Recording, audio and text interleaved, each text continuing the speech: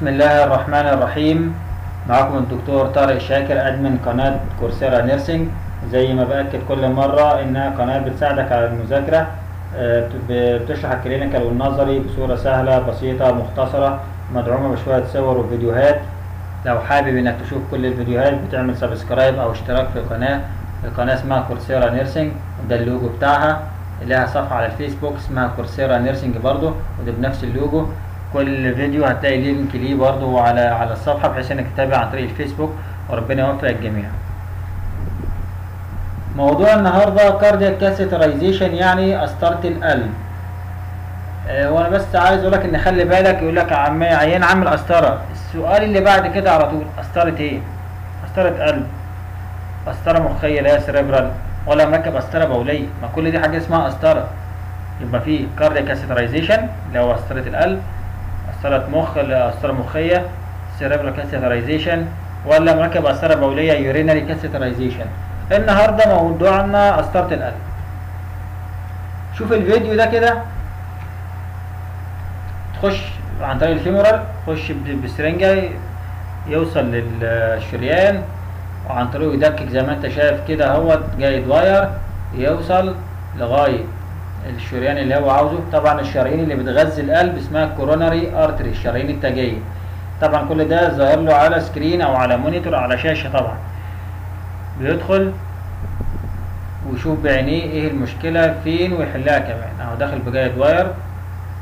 ماشي. أدي الشرايين.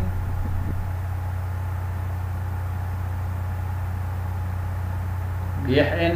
ماشية فين وواقفة فين؟ ده في هنا جلطة ده هنا محتاج انه يصحى يشفط الجلطة ده يركب دعامة هو أهو ماشي هنا أهوت لقى إيه مكان ضيق وفي atherosclerosis أو atheroma في شوية دهون مترسبين هيخش بال guide wire بعد كده يدخل ينفخ بالونة.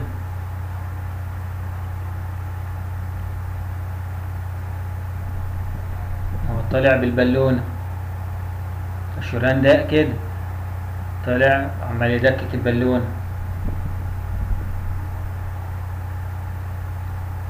ينفخ البالونة يقوم موسع إيه؟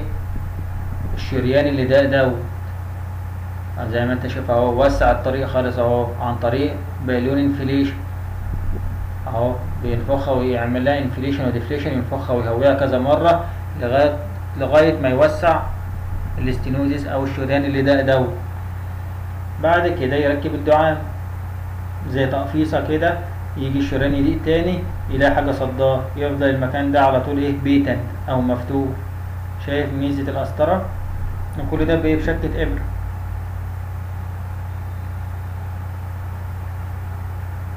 ولو سابه كده ممكن يضيق تاني لكن هيروح داخل تاني أهوت. كل ده والعيان صاحي مش فيه مشكلة خالص ومش حاسس بحاجة.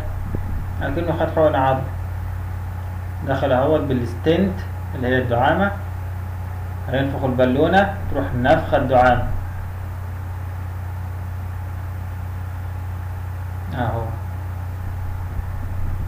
كده الدعامة الميتاليك أو المعدنة دي اتفردت. يعمل deflate بقى يعني إيه؟ يهوي البالونة ويسحبها.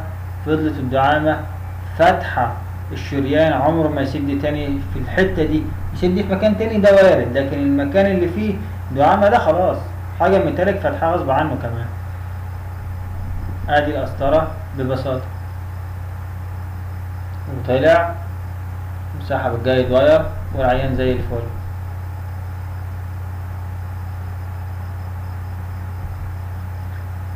دي وحدة القسطرة أو cardiac catheterization unit زي ما أنت شايف ده ال patient table العيان هينام هنا. هذا السي ار حتى على شكل حرف C ده condenser دوت اللي هيبث الأشعة يعدي من ال table يوصل لل- لل- لل sensor اللي تحت فتكون فالأشعة ديت يشوف ظهرت إيه تروح ظهرها له على إيه؟ على ال monitors اللي هنا. طبعا حامل محاليل وفي أي أدوية في أي حاجة دي مش هنختلف فيها. هذا وحدة القسطرة طبعا في إيه؟ ال torch فوق أو اللمب اللي هو اللي؟ مصدر ضوء يعني. صورة تانية بال بالمسمى بتاعها ادا السي آر ادا ال X-ray أهوت. X-ray table ده ال X-ray ال tube اللي بيمتص الأشعة اللي طالع من فوق ادي ال image intensifier يعني ده اللي بيبث الأشعة. تعدي من ال table توصل لل sensor أو ال table اللي تحت تروح مطلع له الصورة تحت على ال monitor. الصورة الثالثه اهيت عليها بقى عيان وكل حاجة باسمها اهو coronary artery stent يعني الدعامة. أهو دخل ب guide wire لقى مكان أو بالقسطره يعني لقى مكان فيه دهون والمكان ضيق الشريان ضيق يروح داخل موسعه ببالونة. و stent يشيل بالونة يفضل ال stent ويشيل ال guide wire أو القسطره فضلت ال stent بس. ال- ال- اللي أنت شفته يعني في الفيديو. ب- ببساطة والعيان زي الفل. طب كل ده ليه؟ عشان لما أجي أشرح بقى شوية نظري عن القسطره تبقى فاهم. يقول لك cardiac catheterization يقول لك what's cardiac catheterization يعني إيه قسطره قلب؟ يقول لك cardiac catheterization أو cardiac cath عبارة عن procedure أو آه، إجراء عشان أفحص القلب شغال إزاي. وعبارة عن hollow tube كل دي catheter عبارة عن قسطره مجوفة بتخش من من من blood vessel من وعاء دموي يوصل لغاية القلب. فيه يشوف القلب شغال إزاي والشرايين وإيه اللي مسدود وكل حاجة. طبعا الحاجات دي من ال American Heart Association اللي هو منظمة القلب الأمريكية. مش كلام أنا الشخصي ده كلام معتمد. آه ليه ال- الناس بتعمل قسطرة القلب؟ عشان تشوف آه، يعني من غير ما تقرأ الكلام دوت عشان لو فيه ضيق في شريان أو يوسعه أو شريان يتسد يفتحه اللي هو الانجينا والام اي هو الذبحة الصدرية وجلطة القلب. آه عايز يركب ستند الجلطة دي ممكن يدوبها يشفطها هيشوف برضو كفاءة القلب. كل ده آه يقدر لو في أي congenital anomaly ما هو شايف القلب قدام عينيه. أدي وحدة قسطرة القلب زي ما أنت شايف كل واحد متعقم والعيان نايم والقسطرة في إيده والدنيا زي الفل. ادي صورة تانية أهيت وال C-arm وهم قدام منه الشاشات وشايفين. أهو آه، ادي حالة الشرايين أهيت قدام منه. ويقول إيه اللي مسدود إيه اللي محتاج يعمل له إيه؟ أدي أدي القسطرة كلها زي ما أنت شايف. فيها كذا دخل حاجة يدخل منها محاليل أو الصبغة وحاجة يدخل منها القسطرة نفسها وهكذا يعني. آه، طبعا هو بيخش آه، بسن وبعد كده dilator ومن ال dilator ده يوسع يدخل منه إيه؟ القسطرة نفسها أو ال guide wire. زي ال central line بالظبط كده. ممكن يركب femoral right أو left أو radial أو brachial حسب بقى إيه هم كلهم هيوصلوا إيه ال coronary artery في الآخر يعني. زي ما أنت شايف هو دخل femoral ماشي ماشي ماشي لغاية ما وصل للقلب أهوت ويروح إيه في هنا plaque أهوت يعني انسداد كده بدهون يخش بالقسطره بال- عن طريق الجايد واير وعليه القسطره ويوسع. أدي القسطره زي ما أنت شايف وحقنت آه، صبغه لا بتعدي بالعافية أو ما تعديش خالص عينك ان في انسداد ويتعامل معاه. إيه الدعامة؟ دي عبارة عن شبكة معدنية كده بتفتح ال- الشرايين مقفول عشان يجي يضيق التاني. لا دي صدادة كده زي ما أنت شايف. هي دي الدعامة. زي ما أنت شايف أهو لها مسدودة. دخل نفخ آه، البالونة وعليها ال- ال stent. شال البالونة فضلت ال stent بقى تيار الدم اللي كان هيمشي من هنا في الأول يعدي شوية الدم صغيرين أو ما يعديش خالص هنا بقى واسع والدم رايح لل heart muscle والدنيا اتحلت زي الفل.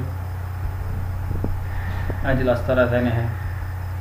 دي بقى القسطرة بالأماكن بتاعتها يقول لك دوت ال- اللي بينفخ بيه البالونة وده three way وده ال Y piece وده الكلام كله.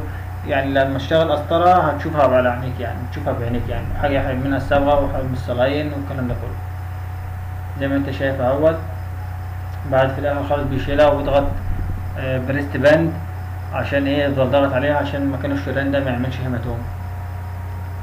أدي القسطره يا سيدي ببلاش ب- ب- بحاجة بسيطة. شوف الفيديو ده كده هنا مركبة transradial من ال radial artery اللي هو تحت صباعك الكبير.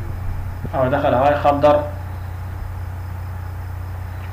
local ال- المكان اللي هي- يدخل منه. هو هنا دخل radial خدره local.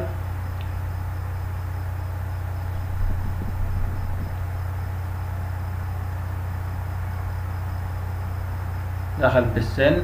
arterial اهو الدم طالع. يبدأ يدخل بال guide wire يرككه. يشيل ال guide wire زي اللي حد لو حد فيكم شاف شاف تركيب central line أو CVP. هنا بيعمل dilation بس بالمشرط حاجة بسيطة خالص كده.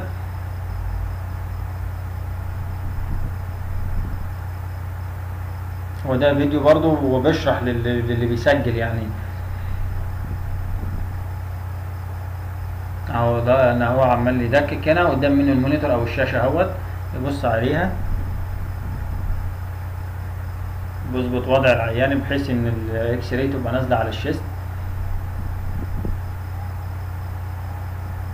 اهو القسطره ماشيه اهيت وبينفخ صبغة.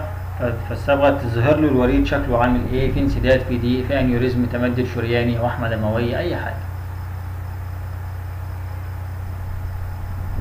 عمال يدكك وعينه على المونيتور.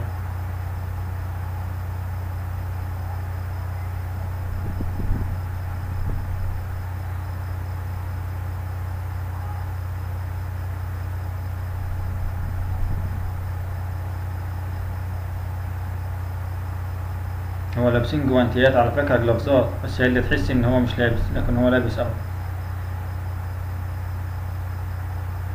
عمال يدكك.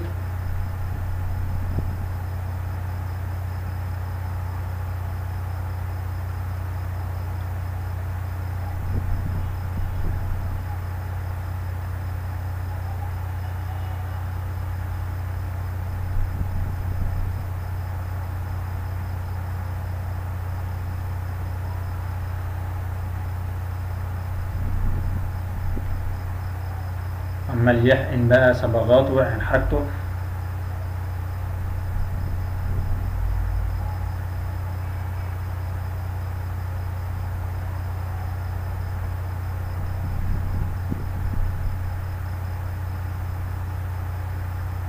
يدكك تاني يشوف شريان تاني وتالت ويشوف كل الشرايين اللي على القلب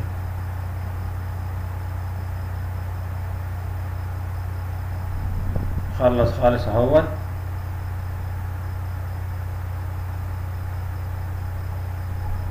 آه ينضف وينشف وفي حاجة كده ضاغط هيضغطها كده بهوا بحيث تفضل ضاغطة على المكان ال insertion site ده شوية عشان ما تعملش hematoma عشان ده arterial pressure اهو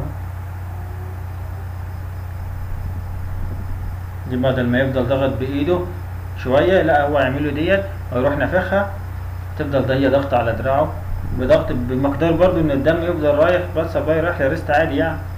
آه هينفخها أهوت بس كده. شيل ال dilator أو ال sheath.